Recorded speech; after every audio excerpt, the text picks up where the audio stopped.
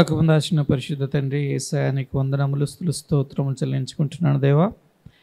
ప్రభా ఈ యొక్క సాయంత్రం సమయంలో మీ యొక్క ప్రభ సన్నిధికి రావడానికి మాకు ఇచ్చిన ఈ యొక్క అవకాశాన్ని బట్టి నీకు వందనములు దేవా. వచ్చిన బిడ్డలందరిని బట్టి విన్నవించుకుంటున్నాను దేవా. వారిని బలపరచండి నీ కృపల ముందుకు నడిపించండి దేవా. ప్రభ ఈ అవకాశం ఇచ్చిన ప్రభా అవకాశాన్ని కల్పించిన మీ కృతజ్ఞతలు చెల్లించుకుంటున్నాను దేవా. నా యొక్క తలంపులను ప్రభా మీ యొక్క వాక్యంను పంచుకుంటున్నప్పుడు దేవా ప్రభా మీ యొక్క మాటలు నా నోటి ద్వారా ప్రభా పలకటానికి దేవా రథం దయచేయండి తలంపులను దయచేయండి నీ కృపలో ముందుకు నడిపించమని వినగల వారికి వినగల చెవులు గ్రహించగల అర్థాన్ని దయచి గ్రహించగల హృదయాన్ని దయచేయమని వేస్తున్నామని వేడుకుంటున్నాను తండ్రి. ఆమె మనం మత్తయి వార్త నుంచి ఒకళ్ళు ఇరవై ఎనిమిది నుంచి ముప్పై రెండు వరకు చదువుకుందాం. మీకేమి తోచుచున్నది? మీకేమి తోచుచున్నది? ఒక మనుషునికి ఇద్దరు కుమారులుండిరి. ఒక మనుషునికి ఇద్దరు కుమారులుండిరి. అతడు మొదటి వాని యొద్దకు వచ్చి కుమారుడా నేడు పోయి ద్రాక్ష తోటలో పని చేయమని చెప్పగా వాడు పోను అని ఉత్తరం ఇచ్చెను కానీ పిమ్మట మనసు మార్చుకొని పోయెను. అతడు రెండవ వాని యొద్దకు వచ్చి ఆ ప్రకారమే చెప్పగా వాడు అయ్యా పోదుననెను కానీ పోలేదు. ఈ ఇద్దరిలో ఎవడు తండ్రి ఇష్ట ప్రకారము చేసినవాడని వారిని అడిగాను. అందుకు వారు మొదటివాడే అనిరి. యేసు సుంకరులను వేశ్యలను మీకంటే ముందుగా దేవుని రాజ్యంలో ప్రవేశించుదురని మీతో నిశ్చయముగా చెప్పుచున్నాను. యోహోను నీతి మార్గమున మీ యొద్దకు వచ్చెను. మీరతనిని నమ్మలేదు. అయితే సుంకరులను వేశ్యలను అతనిని నమ్మిరి. మీరు ఇది చూచియు అతనిని నమ్మునట్లు పశ్చాత్తాప పడకపోతిరి గాడ్ బ్లెస్ ద వర్డ్ ఇక్కడ మత్తయ్య ఈ యొక్క పారబుల్లో ఏమని ఎవరికి ఉద్దేశించి మాట్లాడుతున్నారంటే పరిశీలను సర్దుకేయలను గురించి మాట్లాడుతున్నారు. ఏమని రాయబడి ఉంది? ఒక మనుషునికి ఇద్దరు కుమారులు ఉన్నారంట. ఇద్దరు కుమారుల్లో వెళ్ళి ఒక అతను అడిగాడంట. ఏమని? నా కుమారుడా నేడు పోయి ద్రాక్ష తోటలో పని చేయమని చెప్పగా వాడు పోను అని ఉత్తరం ఇచ్చాను. కానీ పిమ్మట మనసు మార్చుకొని పోయేను అని రాయబడు. సో రెండో వాడి దగ్గరికి వెళ్ళాడంట రెండో వాడి దగ్గరికి వెళ్ళి అదే క్వశ్చన్ అడిగితే అతనేమన్నాడు నేను వెళ్తాను కానీ ఆ ప్రకారమే చెప్పగా వాడు అయ్యా పోదున నేను కానీ పోలేదు. పోదునని కానీ పోలేదు అంట. మరి ఇప్పుడు ఈ వీరిద్దరిలో ఎవరు తండ్రి మాట విన్నారు అంటే మొదటి వ్యక్తి తండ్రి మాట విన్నారు అని ఎవరన్నారు? పరి పరి పరిసయలు సర్దగిలను దేవ ఏసై అడిగాడు అనమాట అందుకు అంటే ఇది ఎవరి గురించి ఈ ఉపమానం చెప్పబడింది? అంటే చూడండి ఆది నుండి చూసుకుంటే అంటే మొదటి నుంచి ఎప్పుడైతే ఇస్రాయేల్ దేవుడు ఎంచుకున్నాడో అప్పటి నుంచి దేవుడు ఎవరి ద్వారా మాట్లాడాడు? ఎవరి ద్వారా? ప్రవక్తల ద్వారా మాట్లాడాడు. ఈ వచ్చిన ప్రవక్తలందరినీ వీళ్ళు విన్నారా? వినలేదు. కదా? సో ఇప్పుడు వాళ్ళు మొదటి వ్యక్తిని ఎవరితో పోలుస్తున్నాడు? ముప్పై వచ్చిన అతడు రెండవ వాని వద్దకు వచ్చి ఆ ప్రకారమే చేయగా వాడు అయ్యా పోదన్ను కానీ. పోలేదు. ఆ ఇద్దరిలో ఎవడు తండ్రికి ఇష్టమైన ప్రకారము చేసిన వాడని వారిని అడిగాను. అందుకు వారు మొదటి వాడే అనేది యేసు సుంకరులను వేసలను మీకంటే ముందుగా దేవుని రాజ్యంలో ప్రవేశించుదురని మీతో నిశ్చయముగా చెప్పుచున్నాను. అయితే యో- యోహాను నీతి మార్గముని ఎద్దుకు వచ్చెను మీరతని నమ్మలేదు. అయితే సుంకరులను వేశ్యలను అతను నమ్మిరి మీరు ఇది చూచి అతని నమ్మునట్లు పశ్చాత్తాపడకపోయేరి. అంటే యాక్చువల్గా ఈరోజు ముప్పై మూడు నుంచి నలభై మూడు చూద్దాము. దానికి ఏసై ఈ ముప్పై మూడు నుంచి డిఫరెంట్ ఉపమానం ఉంటుంది పారబుల్ ఉంటుంది. ఆ పారబుల్కి ముందు ఒక చిన్న పారబుల్ చెప్పారనమాట ఈ పారబుల్లో ఇద్దరు వ్యక్తుల గురించి మాట్లాడారు ఇద్దరు కుమారుల గురించి. మొదటి కుమారుడు ఏమన్నాడు? వెళ్ళను అని వెళ్తా అన్నాడు. రెండో కుమారుడు వెళ్తాను అన్నాడు అన్నాడు కానీ వెళ్ళలేదు ఎవరు ఎవరు తండ్రి చెప్పినట్టుగా ఉన్నారు? మొదటి వ్యక్తే తండ్రి చెప్పగా చెప్పినట్టుగా ఉన్నారు. అయితే ఏమని ఈ ఈ సాదృశ్యమైన ఎందుకు చెప్తున్నా అంటే పరిసయులు సర్దుకేలు ఎవ ఏం చేస్తున్నారు? ప్రత్యేకంగా స పరిశీలు ఏం చేస్తున్నారు?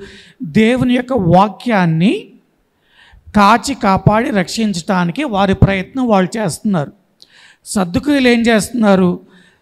దేవుని యొక్క మందిరంలో ఉన్న దేవుని యొక్క మందిరంలో ప్రతి ఒక్కటి వారికి తెలియకుండా జరగదు. అంటే యూదు ఇస్రాయేళ్ళకు సంతతి నుంచి ఆ మందిర కార్యకలాపాలను కానీ ఎవరైనా నియమించాలన్నా లేకపోతే లోకల్ పొలిటికల్ లీడర్స్ అంటే అప్పుడు రాజులతోనూ ఎవరితోనూ మంతనాలు చేయాలన్న అటువంటి శక్తి వారందరికీ ఉంది.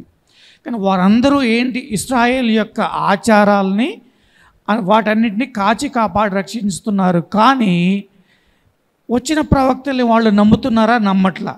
ఎవరు నమ్మారు? ఎవరైతే పాపులో ఎవరైతే సుంకరులో ఎవరైతే ఇష్టం వచ్చినటువంటి వాళ్ళు తిరుగుతున్నారో వారు దేన్ని నమ్మారు?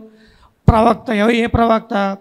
యో బాప్తీసమిచ్చి యోహాను యొక్క మాటలను విని వాళ్ళు ప్రాయశ్చిత్తాన్ని పశ్చాత్తాపడి అంటే they repented their behaviour their sins వారు పశ్చాత్తాపడి పడినారు కానీ ఎటువంటి ఆచారాలను ఎత్తి పట్టాలనుకుంటున్నారో దేవుడిచ్చిన మాటలను కాచి కాపాడి రక్షి అంటే గ్రంథాన్ని ఓల్డ్ టెస్ట్మెంట్ గ్రంథాన్ని క్షుణ్ణంగా పరిశీలించి ఆ యొక్క గ్రంథాన్ని కాచి కాపా అంటే నెక్స్ట్ జనరేషన్కి రావాలి అంటే ఎవరు?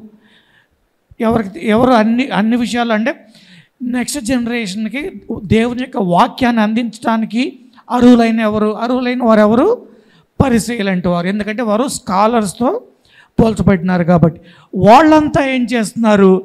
వాళ్ళ పనుల్లో బిజీగా ఉన్నారు. ఏ బిజీగా?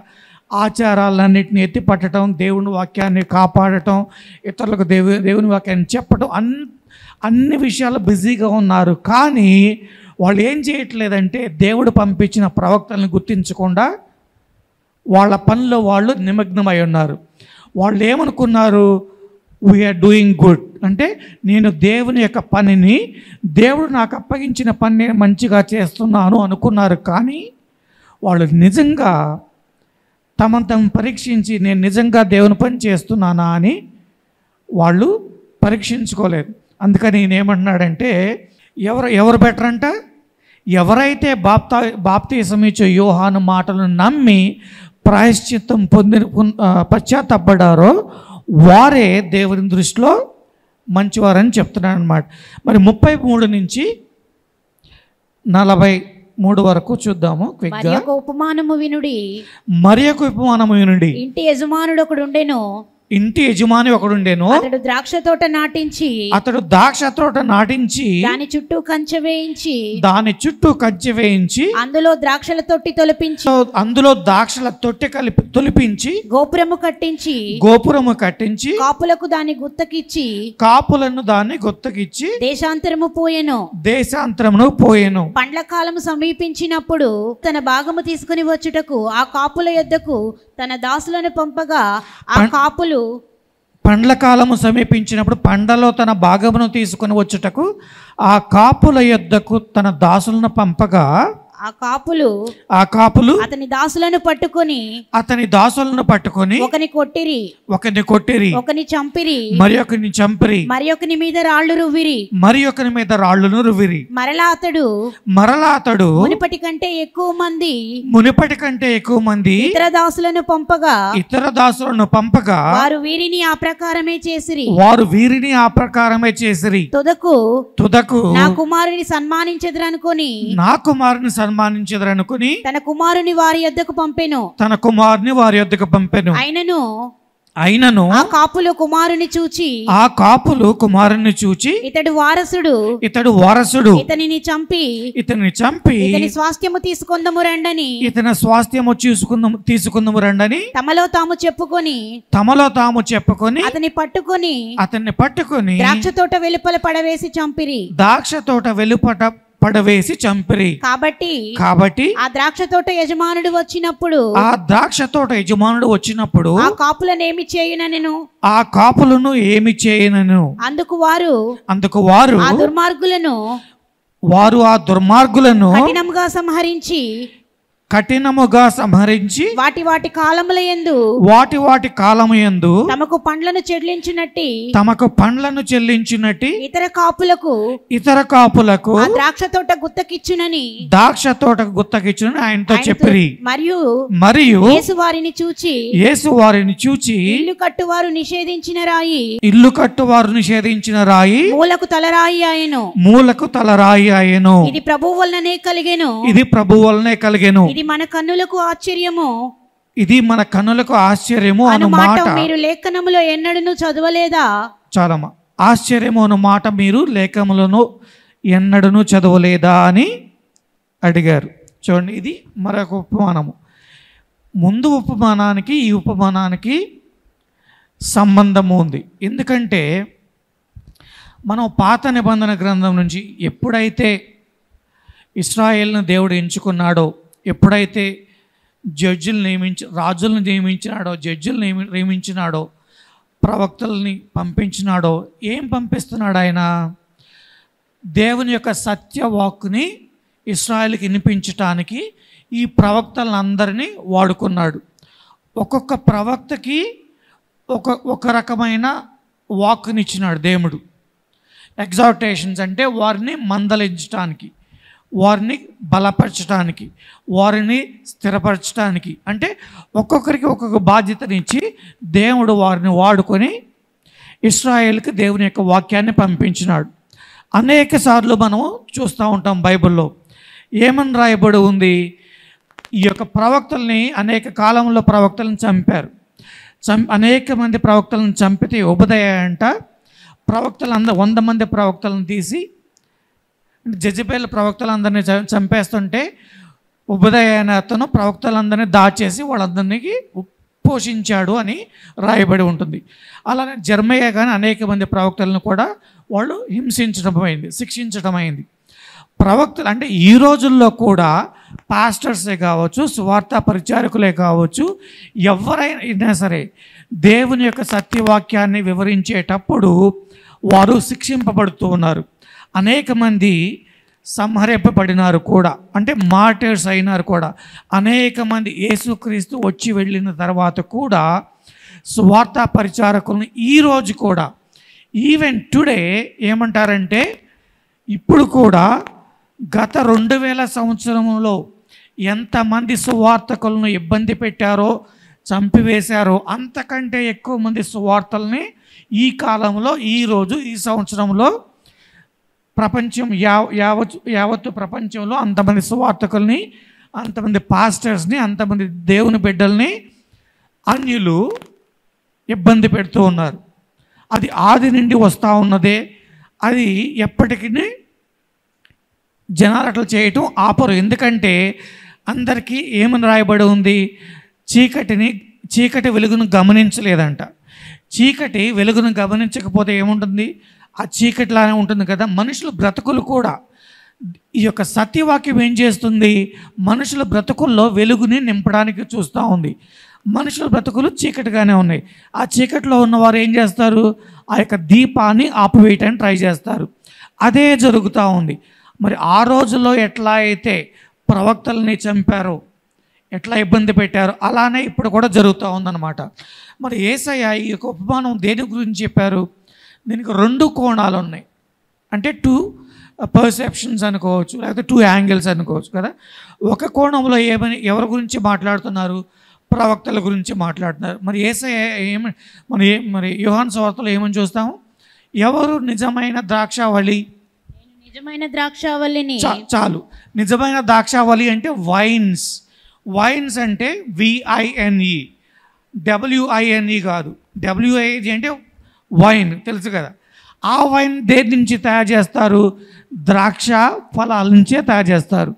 ఎందుకు ద్రాక్ష ఫలాల్ని ఇన్నిసార్లు బైబిల్లో అట్లా వాడ వాడారు అంటే ద్రాక్ష తోటలు అనేవి వారికి ప్రాముఖ్యమైన పంట. మనకైతే వరి ఎట్లా ప్రాముఖ్యమైన పంట? మరి మనకైతే అనేక ప్రాముఖ్యమైన పంటలు ఉన్నాయి కదా. కానీ వారికి ద్రాక్ష తోటలు అనేవి అతి ప్రాముఖ్యమైన పంట అనమాట అందుకనే దేవుడు అనేక సార్లు ద్రాక్ష వల్ని వాడుకున్నాడు. అంటే ద్రాక్ష తోటల్ని ఎగ్జాంపుల్గా వాడుకున్నాడు. మరి ఇప్పుడు మనం ఒక ఇందులో ఇంపార్టెంట్ అయిన వర్స్ ఏంటో తెలుసా? ముప్పై మూడో వచనం. మరి ఒక ఉపమానము వినుడి. ఇంటి యజమానుడు ఒకడుండెను. ఇంటి యజమానుడు ఒకడు అతడు ద్రాక్ష తోట నాటించి అతడు ద్రాక్ష తోట నాటించి దాని చుట్టూ కంచె వేయించి దాని చుట్టూ కంచె వేయించి అందులో ద్రాక్షల తొట్టి తొలిపించి అందులో ద్రాక్ష తోటి తొలిపించి గోపురము కట్టించి గోపురమును కట్టించి కాపులకు దాని గుత్తకిచ్చి కాపులకు దానికి గుత్తకనిచ్చి దేశాంతరము పోయెను. చాలు. ఒక ఇంటి యజమానంట ద్రాక్ష తోటను నాటించి దాని చుట్టూ కంచె వేయించి అందులో ద్రాక్షల ద్రాక్షల తొట్టిని తొలిపించి గోపురమును కట్టించి కాపులకు దానిని గుత్తకిచ్చి దేశాంతరము పోయినాడంట. అంటే ఇది ఇస్రాయల్కి సింపుల్గా చెప్పుకోవాలంటే ఇస్రాయల్కి సంబంధించింది. ఇస్రాయల్కి సంబంధించి మరి దేవుడు ఇస్రాయల్ని ఏమంటున్నాడు? ఒక ద్రాక్ష తోటతో కంపేర్ చేసినాడు అనమాట ద్రాక్ష తోటలో కంపేర్ చేసి వారికి అంటే ఆయన ఎవరిని పంపించి ఇప్పుడు ద్రాక్ష తోటను నాటించి దాని చుట్టూ కంచె వేయించి కంటే కంచె అంటే ఇప్పుడు దేశానికి కంచె ఎవరు వేస్తారు? అంటే ఈ రోజుల్లో అంటే చిన్న చిన్న దేశాలు అయితే కంచెలు ఉన్నాయి. అంతే కదా. అమెరికాలో కూడా రెండు వేల కిలోమీటర్లు బోర్డర్ లైన్ ఉంది. ఆ బోర్డర్ వాల్ ఉంది యాక్చువల్గా వాల్ ఉంది కంచె రెండు ఉంది ఎందుకు? దానికి ఇతరులు అంటే మెక్సికో నుంచి కావచ్చు అంటే అనేక మంది ఏం చేస్తారంటే మెక్సికో వెళ్ళి అక్కడి నుంచి అమెరికా దేశాన్ని రావటానికి ట్రై చేస్తూ ఉంటారు. అమెరికా చాలా పెద్దది కాబట్టి ఎక్కడైతే వారికి దొంగదారిలో దొడ్డిదారిలో రావడానికి అవకాశం ఉందో ఆ మెక్సికో కంట్రీ నుంచి రావడానికి ట్రై చేస్తున్నప్పుడు అమెరికా ఏం చేసింది? ఒక సరిహద్దు సగం దూరం వాల్ని సగం దూరం ఫెన్స్ని నియమించిందనమాట మరి అట్లానే చిన్న చిన్న దేశాలు ఏమైతే ఇప్పుడు మరి ఆ రోజు ఇజ్రాయెల్ని చూసుకున్నారనుకోండి జెరూసలంకి వెళ్ళిన వారందరికీ ఒక గోడ కనపడతా ఉంది. అంటే అప్పట్లో దేశాలు చిన్నవి కదా. ఒక పెద్ద పట జెరూసలేము చుట్టూ గోడ ఉందని మనకు తెలుసు కదా. వాక్యంలో మనం చదువుకున్నాం. ఎందుకు? జెరూసలేము చిన్న ప్రాంతం విలేజ్. పట్టణం అనుకోండి ఇప్పుడైతే పట్టణం అయింది కదా. ఆ ఎరుషలేం చుట్టూతా వాల్ కట్టించడం వారికి సహాయ ఈజీ అయింది. అది ఇస్రాయెల్ చుట్టూతా వారికి వాల్ కట్టడం ఈజీగా కాదు. ఎందుకంటే ఇస్రాయెల్ కూడా పెద్ద దేశమే కాబట్టి. ఇండియా చుట్టూ మనం వాల్ కడతామా? ఇంపాసిబుల్. కానీ ఇక్కడ ఇదేమంటున్నాడు ఒక ఉపమానం కోసం ఉపమానం నిమిత్తము అతడు ద్రాక్ష తోటను నాటించి దాని చుట్టూ కంచి వేయించాడంట. అంటే ఇస్రాయెల్ చుట్టూ ఆయన కాపుదల ఉంటున్నాడు అనమాట అలానే అందరూ ద్రాక్ష తోట అంటే ఎవరు? ఇస్రాయేల్ అందరినీ ఏమన్నా ద్రాక్ష ద్రాక్ష తోటను నాటించి చుట్టూ కంచె వేయించి ఒక వైన్ ప్రెస్ వైన్ ప్రెస్ ఇప్పుడు ద్రాక్ష తోటలో ముఖ్యమైనది ఏంటి ఇప్పుడు ద్రాక్ష తోటలు ఎందుకు? ఇప్పుడు ఒక ఒక పది టన్నులు ద్రాక్షలు పండించారనుకోండి ఆ పది టన్నులను తీసుకెళ్ళి మార్కెట్లో అమ్మరు కదా. ఏం చేస్తారంటే దాన్ని వైన్ ప్రెస్ చేస్తారు. అందుకనే ప్రతి ఒక్క ద్రాక్ష తోటలో ఏముంటుందంటే వైన్ ప్రెస్సింగ్ మషిన్ ఉంటుంది. ఇప్పుడు గానుగా అంటాం మనం సింపుల్గా. మరి ఒకప్పుడు గానుగా అంటారు ఇప్పుడు ఇప్పుడు గానుగులు ఇప్పుడు కూడా ఉండే ఉంటాయి కానీ అంత మోటరైజ్డ్ అయిపోయినాయి అనమాట ఆ గానుగుల్లో ఏం చేస్తారు? వైన్ ప్రెస్ చేస్తారు. ప్రత్యేకంగా ఇప్పుడు గానుగులు ఇప్పుడు వైన్ గానుగాని సింపుల్గానే ఎందుకంటే నూనెను గానుగుల్లో ప్రెస్ చేస్తారు. కానీ వైన్ను గానుగుల్లో ప్రెస్ చేయరు. తొట్టిని నిర్మించి కాళ్ళతో తొక్కుతూ ఉంటారు. వైన్ ప్రెస్ అందుకని తొట్టి అన్నాడు అనమాట సో ఆ యొక్క ద్రాక్ష పళ్ళని నుంచి రసం తీయటానికి తొట్టిని కూడా సిద్ధం చేసి అంటే కావాల్సిన అన్నిటినీ సిద్ధం చేసినాడు ఆయన. గోపురాన్ని కట్టించి కాపులను దానికి ఇచ్చేలా అంట. ఏమని? గుత్తకి ఇచ్చేలా అంట. గోపురం ఎందుకు? Observation tower.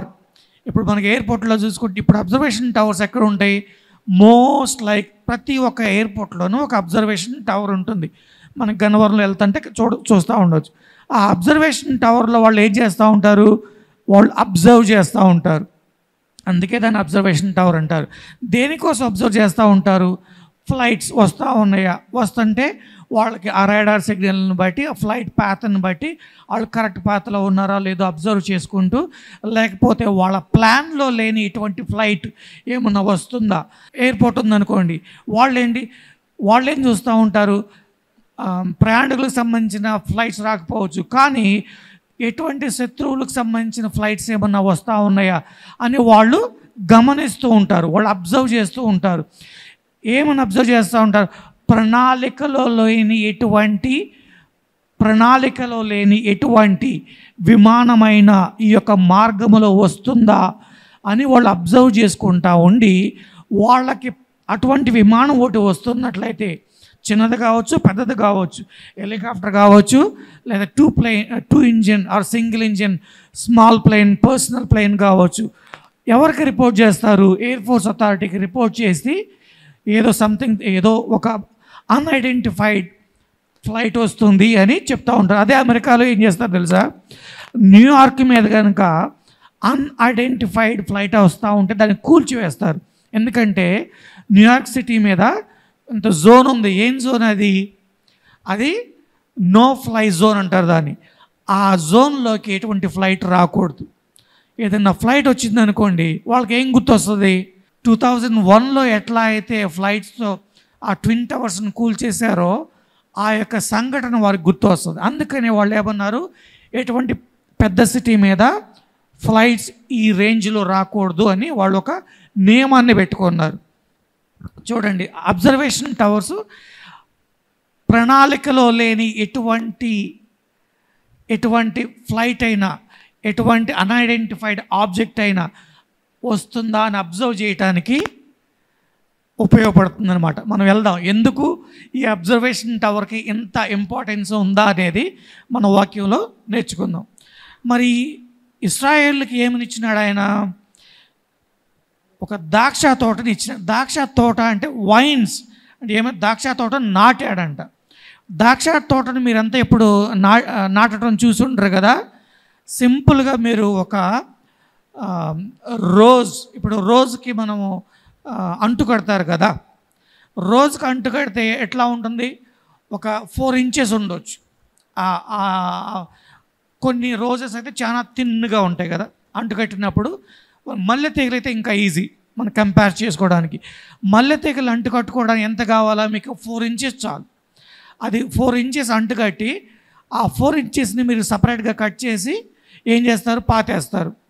ఎగ్జాక్ట్లీ అంతే చేస్తారు అనమాట ఇవి ద్రాక్ష తోటని నాటించడం అంటే ఈ చిన్న చిన్న ఫోర్ ఇంచెస్ ఫైవ్ ఇంచెస్ ఆ ఆ వైన్స్ని నాటిస్తారనమాట నాటి ఇప్పుడు ఇప్పుడు సింపుల్గా మన వైన్స్ ఎట్లా పెరుగుతాయి?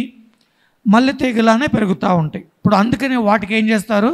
ద్రాక్ష తోటలకి మన దొండ పందిరి ఎట్లయితే పాకుతుందో అట్లా పాకటానికి వాళ్ళు ఒక ఫెన్స్ లాంటిది కడతారు. ఒక పందిరి వేస్తారు. ఫెన్స్లా కట్టిన తర్వాత పందిరిలో పాకి అవి ద్రాక్ష గెల్లలు వస్తాయి కాబట్టి వాటికి అనుగుణంగా వాళ్ళు ఆ పందిరి వేస్తారనమాట అనమాట ఇదేం చేశాడు?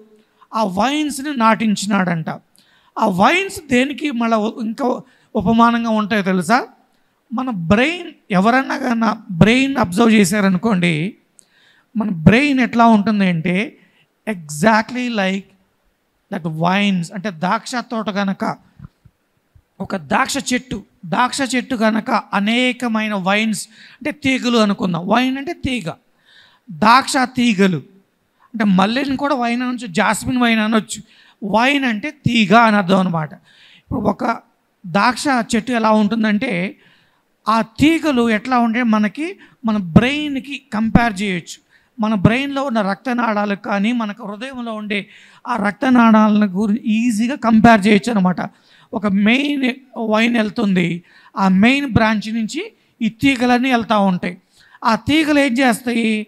ఆ తీగలు ద్రాక్ష ఫలాలను ఇస్తూ ఉంటాయి. అందుకని ఆయన ఏమంటున్నాడు? ఏసయ్య ఫలించేది ద్రాక్ష దాన్ని ప్రూన్ చేస్తారండి. ప్రూన్ చేస్తుంటే ఎటువంటి తీగ నుంచి ఆ ఫలించ ఫలము రావటం లేదో ఆ తీగల్ని కట్ కట్ చేస్తాడంట ప్రూన్ చేయటం. అంటే ఫలించని ద్రాక్షని తీసేసినాడు అనుకో ఆ ఎనర్జీ అంతా ఎటు వెళ్తుంది? ఫలించే ద్రాక్ష వాళ్ళకి వెళ్తుంది అనమాట అప్పుడు ఆ ఫలించే ద్రాక్ష ఆ- తీగ నుంచి ఏమొస్తుంది? మంచి ఫలములు వస్తాయి. సో అందుకని ఎందుకు నేను ఇది కొద్దిగా మీరు బుర్ర పెట్టాల్సిన అవకాశం ఉంది. ఎందుకంటే ఈ ద్రాక్షవళి మన ఇప్పుడు మనం మీకే ఇజ్రాయెల్ ఉంది. మీకే దేశం ఉంది. ఏ దేశం లేదు కదా? మరి how do you apply this word to your life అంటే ఈ యొక్క వాక్యాన్ని నీ జీవితానికి నువ్వు ఎట్లా అప్లై చేస్తావు? అప్లై చేయాలి అంటే మనం కొద్దిగా అంటే ఏమి దృష్టి పెట్టాలి? ఇక యొక్క వాక్యములో నిగూఢమైన అర్థము ఏమన్నా ఉందా? ఈ నిగూఢమైన అర్థము ఉంటే నేను నా జీవితానికి నేను దాన్ని ఎట్లా అప్లై చేసుకోవాలి? అని ఇక్కడ కూడి ఉన్న జనాలందరికీ నా ఉదయపూర్వక వందనాలు. నాకు హెచ్ఐవి అండి మూడు సంవత్సరాలు దాటిందండి నాకు హెచ్ఐవి వచ్చి. హెచ్ఐవి వచ్చినప్పుడు నేను చాలా మూడు మూడు నెలలు మాత్రం మంచంలోనే ఉన్నానండి మంచంలో ఉండి చాలా బాధపడ్డానండి. చాలా బాధపడిన తర్వాత విజయవాడ హాస్పిటల్కి వెళ్ళానండి. హాస్పిటల్కి వెళ్ళిన తర్వాత హాస్పిటల్కి వెళ్ళేటప్పుడు ముందు కాడ నేను అసలు ఆటో కాడ ఎక్కలేని పరిస్థితి అండి. కాళ్ళతో మోకాళ్ళతో హాస్ ఆటో ఎక్కేవాడినండి. అట్టగా మూడు నెలలు వెళ్ళానండి హాస్పిటల్కి. మూడు నెలలు వెళ్ళినా కానీ ఏం తగ్గలేదండి.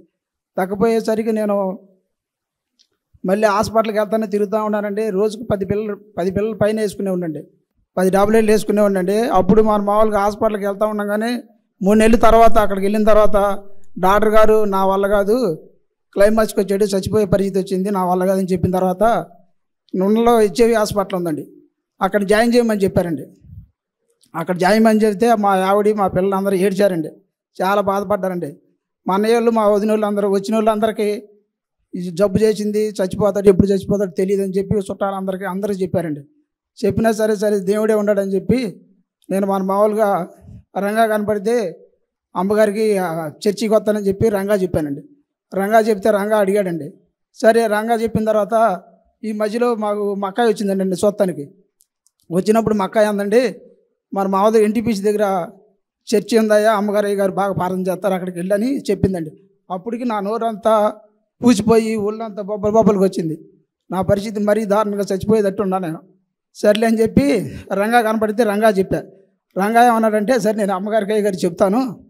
మరి నువ్వు వస్తావని అడిగాడండి. వస్తానని చెప్పాను. చెప్పిన తర్వాత రంగా పది రోజుల తర్వాత మళ్ళీ రంగా అడిగాడు. అడిగితే ఆ రోజు నేను రాకుండా నున్న పని ఉండి వెళ్ళాను. రా- ఈ రాజారెడ్డి వద్దంతే అయితే అక్కడికి వెళ్ళాను. ఆడికి వెళ్ళిన తర్వాత రంగా అక్కడికి వచ్చాడు. ఆడికి వచ్చి మరి అమ్మగారు అయ్యగారు పార్థన రమ్మన్నారు మరి వస్తావని అడిగాడు. అడిగితే నేను అన్నాను ఏ మాయ మాటలు చెప్పి నేను ఇప్పుడు రానులే నాకు పని ఉందని చెప్పి అక్కడే భోజనాలు పెడుతుంటే భోజనాల దగ్గర ఉన్నా నేను. ఉన్న తర్వాత అక్కడ భోజనం చేసి మళ్ళీ ఇంకొక అరగంటకి మళ్ళీ ఏరే చోట భోజనానికి వెళ్ళా. ఆ రోజే రెండు సార్లు భోజనం చేశా. ఈ సన్నిధి రా ఈ సన్నిధికి వస్తాను అనుకున్న తర్వాత నాకు ఆ కార్యక్రమం జరిగింది. అక్కడ నుంచి ఇంటికి వచ్చిన తర్వాత మా ఆవిడ అడిగింది రంగా వచ్చాడు నీ కోసం మరి చర్చికి వెళ్ళదండి అని అడిగింది. అడిగితే నేను అన్నాను నా ఇలా ఇలా జరిగింది రెండు సార్లు భోజనానికి వెళ్ళాను నాకు అరుగుదల బాగుంది మరి ఆ సన్నిధికి వెళ్దాం అనుకున్నానని చెప్పి చెప్పాను. చెప్పిన తర్వాత ఇక్కడ సన్నిధికి వచ్చాను. వచ్చిన తర్వాత అమ్మగారు అయ్యారు నన్ను అడిగారు. అమ్మగారు అడిగారు ఏంటయ్యా నీ పరిస్థితి? అని అడిగారు. అమ్మగారితో ఏం చెప్పానంటే నేను నా ఒంట్లో టైపాటి జ్వరమాను ఏదో షుగర్ అని చెప్పి అమ్మగారి. అమ్మగారు ఏమన్నారంటే ఒంట్లో ఉన్నది దాచుకోమాకయ్యా ఉన్నది మొత్తం చెప్పన్నారు అప్పుడు అమ్మగారి చెప్పా. చెప్పిన తర్వాత అమ్మగారిని ప్రార్థన చేస్తున్నాయా? అని చెప్పి చెప్పారు. ఇక్కడికి వచ్చిన తర్వాత ఏడు వారాలకి నాకు పూర్తిగా నయమైపోయింది. నా నా ఆరోగ్యం బాగుంది. ఏడు వారాలు జరిగింది. ఏడుకి వచ్చిన తర్వాత కూడా ఒక వారం రెండు వారాలు కూడా వచ్చిన వాళ్ళు చెప్పారు. నువ్వు ఏడు వారాలు వచ్చిన తర్వాత నీ స్వచ్ఛత వచ్చింది బాగుండిద్దని అని చెప్పి చెప్పారు. అప్పటి నుంచి నేను అంతకుముందు నాకు ఆరోగ్యం బాగానప్పుడు ఒక ఇడ్లీ రెండు ఇడ్లీ తినేవాడిని. ఇప్పుడు పది ఇడ్లీ తిన్నాను నా ఆరోగ్యం బాగుంది. ఈ సన్నిధికి వచ్చిన తర్వాత నా ఆరోగ్యం బాగుంది. ఈ గొప్ప సాక్ష్యం దేవుడు దీవించింది కాక.